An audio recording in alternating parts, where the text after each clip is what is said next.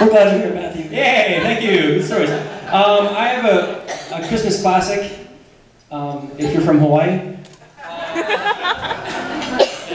uh, I, I, I, first learned how to do this song. Uh, I, I, first heard this song. We all used to sing backup for Don Ho. Uh, and I learned this song to play it on ukulele. Last year I, I sang for uh, Obama at Christmas in Washington. It was a crazy, weird experience, but it was awesome. Um, so this song is called Mele Kalikimaka. It's a Hawaiian Christmas song. And uh, I'd like to hear Are you guys not backing me up on this? You don't know this song, do you? Wait, wait, what is that called again? The ukulele? Ukulele. Ukulele. This is just your breather time, isn't it? This sucks.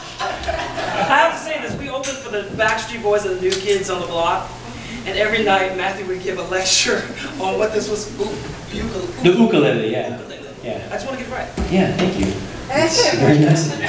All right, um, so this is the Hawaiian Christmas song, Mele Kalikimaka. I have my chord chart in front of me. All right. I'm plugged in, by the way, and the guitar. Yeah.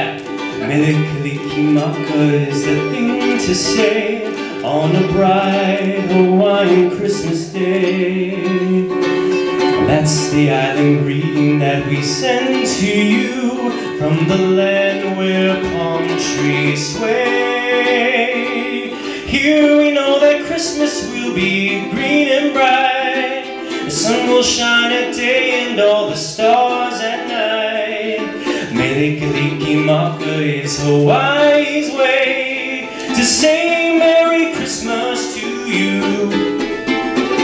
Mele Kalikimaka, come on, is the thing to say on a bright Hawaiian Christmas day. That's the island greeting that we send to you from the land where palm trees sway.